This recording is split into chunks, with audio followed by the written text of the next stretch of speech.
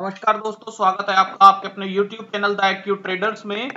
दोस्तों, आज के वीडियो में हम USD INR का मंथली एनालिसिस करेंगे। अगस्त मंथ की ट्रेडिंग हो चुकी है। सितंबर मंथ के लिए हम एनालिसिस करेंगे और जानेंगे USD INR का आगे का व्यू और मूवमेंट कैसा हो सकता है।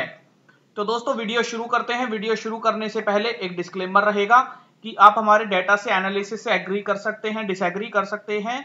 ये वीडियो एजुकेशनल पर्पस के लिए रिकॉर्ड की जा रही है। आपके प्रॉफिट लॉस या किसी भी पोजीशन के लिए हम रेस्पॉन्सिबल नहीं होंगे। तो दोस्तों, हम अपना एनालिसिस शुरू करते हैं और हम जानने की कोशिश करते हैं कि यूएसडी आईएनआर में आगे की चाल क्या हो सकती है। तो दोस्तों, ये यूएसडी आईएनआर का डेली चार्ट हमने लगाया हुआ है और डेली चार्ट में आप देख सकते हैं कि पिछले तो पिछले हफ़्ते के अंदर कितना एक वाइल्ड मूव नीचे की तरफ़ आया? यूएसडी आईएनआर लगभग डेढ़ रुपया नीचे आया। डेढ़ रुपया नीचे आने के साथ साथ दोस्तों पुट राइटर्स की हालत काफ़ी खराब रही और पुट राइटर्स ने लॉस भी बुक किया। उन पुट राइटर्स में मैं भी एक शामिल हूँ दोस्तों। डेफिनेटली मैंने भी पुट में लॉस बुक किया और कॉल्स में उतना मेरा रिकवरी नहीं हो पाया तो मैं नेट नेट लॉस में इस वीक रहा। ये मैं आपको अपडेट करना चाहूँगा, क्योंकि कुछ लोग बोलते हैं कि मैं केवल एनालिसिस दे रहा हूँ और अपनी पोजीशन शेयर नहीं करता। तो दोस्तों पोजीशंस तो मैं नहीं शेयर करूँगा, लेकिन मैं आपको ये बता रहा हूँ कि इस हफ़्ते मैंने लॉस बुक किया था।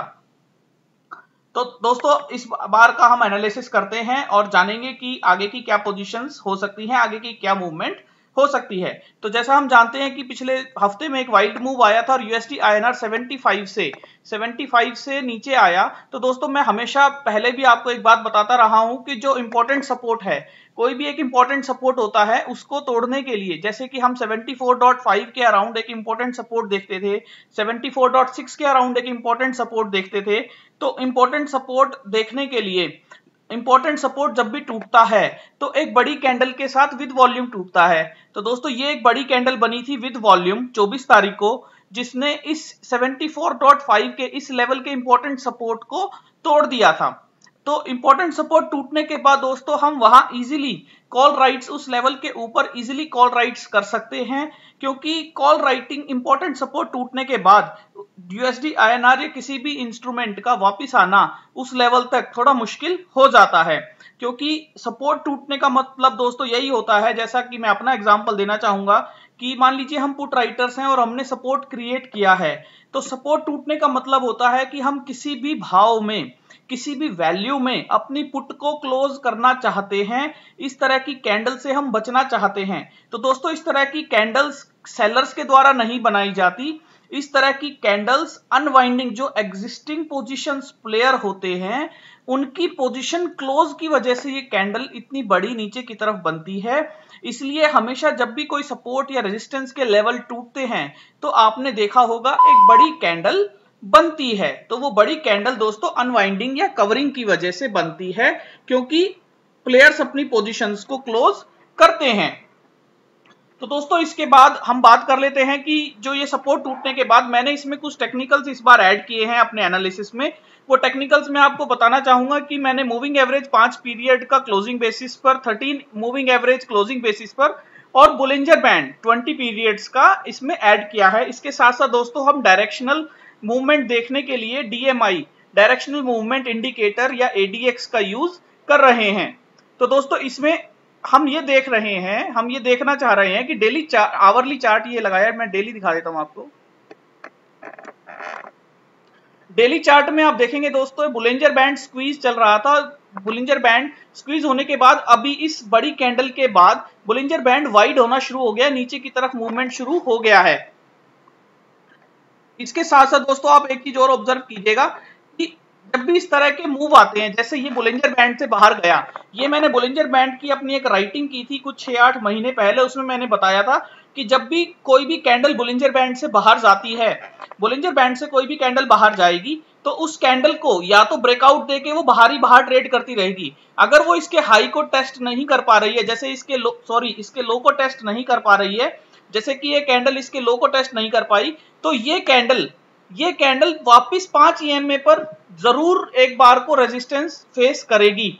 ऐसा इसलिए होता है दोस्तों क्योंकि ये कैंडल्स जो हैं बोलिंजर इस, इस ये जो पाँच ईएमए की लाइन होती है ये एक तरह का मैग्नेट का काम करती है चाहे सपोर्ट हो चाहे रेजिस्टेंस हो एक बार यहाँ आके ये ज़रूर रुकेगी। और ऐसा ही हमने देखा कि यहाँ ये बोलेंजर बैंड की ये जो कैंडल है ये इस पाँच ई e तक आई और उसके बाद फिर से इसने नीचे की तरफ़ मूवमेंट दे दिया। तो आगे भी दोस्तों यही होगा कि ये कैंडल पाँच ई e अगर स्ट्रॉन्ग मोमेंटम रहा, जैसा कि ये हमें एडीएक्स से नज़र आ रहा है कि एडीएक्स की जो रेड लाइन है, ये अभी उठना शुरू हुई है और जो नेगेटिव मूवमेंट की लाइन है, ये अपने पीक तक चली गई है। तो दोस्तों ये एडीएक्स की लाइन को ये नेगेटिव लाइन ऊपर की तरफ़ ले जाएगी, यानी कि ये मोमेंटम अभी थोड़ा नीचे की तरफ़ जा सकता है। तो दोस्तों, ये स्ट्रॉन्ग मोमेंटम हमें पाँच ई में भी कंफर्म करता है। जब तक ये ट्रेडिंग पाँच ईएमए के नीचे डेली बेसिस पर होती रहेगी, ये स्ट्रॉन्ग बियरिश ट्रेंड में रहेगा। इसको न्यूट्रल होने के लिए या बोलिंजर बैंड को नॉर्मल होने के लिए इस कैंडल को 13 ईएमए को टेस्ट करना पड़ेगा। 13 ई के पास इसे आना पड़ेगा। तो दोस्तों, ये डेली डेली चार्ट में मेरा एनालिसिस है। आवरली चार्ट में मैं आपको बता देता हूँ। आवरली चार्ट में भी आप सेम पैटर्न देख रहे हैं कि ये पाँच ई के नीचे अभी तक कैंडल ट्रेड कर रही है। दोस्तों आवरली चार्ट में इसे मिड बोलेंजर यानी 20 MA के पास इसे आना पड़ेगा। तो हम जो भी इसका रिसेंट इस कंसोलिडेशन का जो भी लो रहेगा, हम उस लो को सपोर्ट मान के, उस लो को सपोर्ट मान के नीचे की तरफ़ हम पुट राइट्स कर सकते हैं या प्रोटेक्शन के साथ पुट राइट्स कर सकते हैं। तो दोस्तों, अभी अगर अभी अगर ये फॉलिंग फॉलिंग मूवमेंट में यदि हम एग्जैक्ट सपोर्ट ढूँढने की कोशिश करेंगे तो वो थोड़ा मुश्किल हो जाएगा क्योंकि अभी ये 74.6 के अराउंड रेजिस्टेंस सपोर्ट ब्रेक करके नीचे आया है। तो एक नया सपोर्ट बनाने में अभी टाइम लग सकता है। तो हमें देखना होगा कि नया सपोर्ट कहाँ इमर्ज होता है, लेकिन हम डेटा के पॉइंट ऑफ़ व्यू से या डेटा की मदद से हम जानने की कोशिश करेंगे कि यूएसडी आईएनआर नीचे की तरफ़ कहाँ तक आ सकता है। और सपोर्ट फॉर्मेशन की एक जो मेरी स्टाइल है वो मैंने आपको बता दी कि अवरली चार्ट पे कम से कम ये 20 ईएमए के आसपास आ जाए 13 ईएमए के ऊपर ट्रेड करे बुलिंजर बैंड को थोड़ा सा न्यूट्रल करे और ये जो डीआई है डीआई को थोड़ा सा, ये डीआई दोस्तों ऊपर की तरफ़ जाएगी अभी, ये एडीएक्स ऊपर की तरफ़ जाएगी और एडीएक्स को फिर ये स्मूथ करना शुरू कर देगा। जब ये एडीएक्स को स्मूथ करना शुरू कर देगा तो वही हमारा टाइम होगा, वही हमारा फ़ेज़ होगा, जहाँ हम समझ जाएँगे कि एडीएक्स अभी स्मूथ है तो कम से कम दो तीन दिन तक ये अभी रेंज बाउंड ट्रेडिंग करेगा। उसके अकॉर्डिंग हम डेटा का एनालिसिस करके आगे की अपनी प्लानिंग करेंगे। तो दोस्तों, अब हम डेटा पे चलते हैं, क्योंकि मंथली है मंथली एनालिसिस है, और मंथली एनालिसिस के पॉइंट ऑफ़ व्यू से हम डेटा एक बार देख लेते हैं। तो दोस्तों, एक चीज़ ऑब्जर्वेशन मैंने इस बार की है, जो मेरे लिए भी नई थी तो मैं उसके उस बात को मैं ज़्यादा वाइडली शेयर नहीं कर पाया, लेकिन मैंने ऑब्जर्वेशन में ये ज़रूर देखा था कि जो भी क्लोजिंग होती है, जो भी, ये जो भी ओपन इंटरेस्ट होता है फ्यूचर्स का, वो पंद्रह लाख के अराउंड ट्रेड करता रहता है अप टू लास्ट वीक लेकिन इस बार क्या हुआ था? ये ओपन इंटरेस्ट जो पंद्रह लाख के अराउंड था, ये नीचे की तरफ़ अपने आप आना शुरू हो गया था। 12 लाख तक आ गया था 11 लाख तक आ गया था 21 अगस्त 20 अगस्त आप देख सकते हैं डेटा में। तो दोस्तों, इसका मतलब ये था, इसका अनुमान ये निकाला जा सकता था कि जो लॉन्ग्स पोजीशन है, वो वाइडली क्लोज कर दी गई। 15 लाख के जो 12 12 लाख 11 लाख में आया तो तीन चार लाख की लॉन्ग पोजीशंस को वाइडली क्लोज करके नेक्स्ट मंथ के रोल ओवर में उन्हें शॉर्ट में कन्वर्ट कर दिया होगा। तो ये डेफिनेटली पोजीशंस का चेंज ओवर किया गया। तो दोस्तों, अभी के डेटा में हम देख लेते हैं। अभी के डेटा में अगर हम रोल ओवर का डेटा देखेंगे तो हम इस बार 16 लाख के अराउंड से ट्रेडिंग शुरू कर रहे हैं। क्यूमुलेटिव ओपन इंटरेस्ट 19 लाख के अराउंड है। तो वो, ये अभी ठीक है, इसमें कोई खास चेंजेस नहीं है। ये नॉर्मल जैसे हर महीने रहता है, उस तरीके से ही डेटा को भी रीड कर सकते हैं।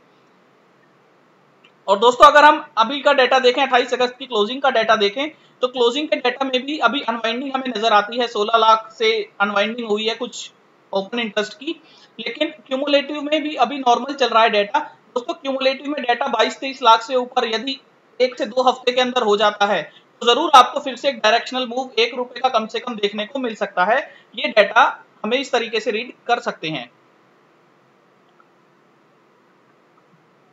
इसके बाद दोस्तों ऑप्शंस में हम ऑप्शंस में एनालिसिस कर लेते हैं। दोस्तों शीट में चेंज किया गया है। मैंने मंथली को ऊपर यहाँ शिफ्ट कर दिया है वीकली को नीचे, क्योंकि मैं वीकली अब ट्रैक नहीं करता हूँ मैं मंथली का डेटा ट्रैक कर रहा हूँ। मंथली के डेटा में आप देखेंगे तो दो दिन में जो अगले महीने का कॉन्ट्रैक्ट ट्रेड हुआ है, उसमें सबसे ज़्यादा कॉल साइड में ओपन इंटरेस्ट अभी चल रहा है 75.5 की स्ट्राइक पे। 75 की स्ट्राइक पे भी अच्छा ओपन इंटरेस्ट है। पुट साइड में दोस्तों 73 की स्ट्राइक पे एक लाख तीस हज़ार का ओपन इंटरेस्ट अभी बिल्डअप चल रहा है। इसी के साथ साथ second highest open interest put side में 74 पर चल रहा है। लेकिन चेंज इन ओपन इंटरेस्ट की आप बात करेंगे तो change in open interest put side में 71 पर सबसे हाईएस्ट चेंज हुआ है और पुट साइड में change in open interest second highest 73.5 पर बना है। दोस्तों, इसके साथ आप प्रीमियम की बात करेंगे। ट्रेडिंग सबसे ज़्यादा एक्टिव ट्रेडिंग कहाँ हुई है? तो वो आपको दो स्ट्राइक पर नज़र आ रही है, जो कि 74 की स्ट्राइक है कॉल एंड पुट और 73.5 की स्ट्राइक है। और पुट साइड में आपको 73 की पुट में भी ट्रेडिंग नज़र आ रही है। दैट मीन्स की 73 का लेवल अभी के लिए एक इंपॉर्टेंट लेवल नज़र आता है। तो 73 के लेवल को हम एक बार देख लेते हैं। दोस्तों 73 के लेवल में अभी तेईस हज़ार ओपन इंटरेस्ट बिल्डअप करके एक लाख तीस हज़ार में पुट को पहुँचाया गया है, जिसका वी वैप अभी 20 पैसे चल रहा है। और 73 की कॉल में ओपन इंटरेस्ट ऐड किया गया है उनतीस हज़ार के अराउंड और ये एक लाख पंद्रह हज़ार तक इसे पहुँचाया गया है। तो दोस्तों 73 का लेवल अभी के लिए इंपॉर्टेंट है। मैं आपको ऑप्शन चेन में एक बार और क्लैरिटी से सारा बता देता हूँ, सारा दिखा देता हूँ। तो दोस्तों 73 के लेवल में आप देखिए, सबसे highest combined open interest call और पुट का कंबाइंड ओपन इंटरेस्ट जो कि सिमिलर भी है। जैसे 73 की स्ट्राइक में सिमिलर ओपन इंटरेस्ट एक लाख बत्तीस हज़ार, एक लाख चौदह हज़ार और कंबाइंड भी सबसे ज़्यादा है। यदि आप किन्हीं भी स्ट्राइक स्ट्रेडल में किसी भी स्ट्राइक का ओपन इंटरेस्ट कंपेयर करेंगे तो 73 में अभी सबसे ज़्यादा कंबाइंड और सिमिलर ओपन इंटरेस्ट चल रहा है। तो दोस्तों 73 के लेवल का जो भी सम होगा वो हमारा अभी इमीडिएट सपोर्ट और रेजिस्टेंस के लेवल्स होंगे। ये जो 73 की स्ट्रेडल की वैल्यू है 73 के स्ट्रेडल की वैल्यू बहुत इंपॉर्टेंट है, मायने रखती है। और इसी की टेरिटरी में अभी यूएसडी आईएनआर ट्रेड करेगा। तो दोस्तों सेवन अगर ये यहाँ स्टेबल होता है तो मैं एक बार को 73 का स्ट्रेडल भी ट्रेड कर सकता हूँ। तो इसलिए मैं आपको ये डेटा बता रहा था यहाँ ऑप्शन चेन में। और अगर आप देखें 71 में, आप 71 की पुट में अगर ओपन इंटरेस्ट बिल्डअप हुआ है तो दोस्तों ये केवल लॉन्ग किया गया हुआ है इन पोजीशंस को हेज के लिए लॉन्ग लिया गया होगा। तो इस तरीके से हम इस डेटा को देख सकते हैं। तो दोस्तों अगर मैं कंसोलिडेट करूँ अपनी बातों को तो हमें ऑप्शन चेन के डेटा के पॉइंट ऑफ़ व्यू से 73 के लेवल पर अभी हमें 73 के लेवल पर सपोर्ट नज़र आता है। 73 के आसपास इसे रुकना चाहिए। यहाँ इसको वैल्यूज़ को इरोड करना चाहिए। हफ़्ता दो हफ़्ता भी ये यहाँ रुकता है तो वो अस्सी से नब्बे पैसे का जोड़ा, पचास से साठ पैसे का रह जाएगा तो इसे उस लेवल तक यहाँ रुकना चाहिए। 73 के स्ट्रेडल की वैल्यू को इसे एब्जॉर्ब करना चाहिए। और उसके साथ साथ दोस्तों चार्ट की अगर हम फॉर्मेशन देखते हैं तो चार्ट में अभी हमें फ्री फॉल में कोई भी सपोर्ट नज़र नहीं आता। फ्री फॉल में अभी हम सपोर्ट देखने की कोशिश करेंगे तो वो हमारा केवल एक एजम्पन होगा। तो हम कुछ टेक्निकल्स की मदद से, जैसे मैंने यहाँ ईएमए और मूविंग एवरेजेस लगाए हैं और एडीएक्स का मैं पॉइंट देख रहा हूँ तो इन टेक्निकल्स की मदद से हम एक बार को सपोर्ट फाइंड आउट कर सकते हैं। तो दोस्तों, मैं अपनी वीडियो को यहीं एंड करता हूँ। आपको ये कैसा लगा, आप मुझे बताइएगा। आप हमारे टेलीग्राम पे भी हमें ज्वाइन कर सकते हैं। जैसा कि हमारे कुछ दोस्तों ने बोला था टेलीग्राम चैनल बनाने को। उसका लिंक मैंने दे दिया है। लिंक मैं नीचे डिस्क्रिप्शन में दे दूँगा।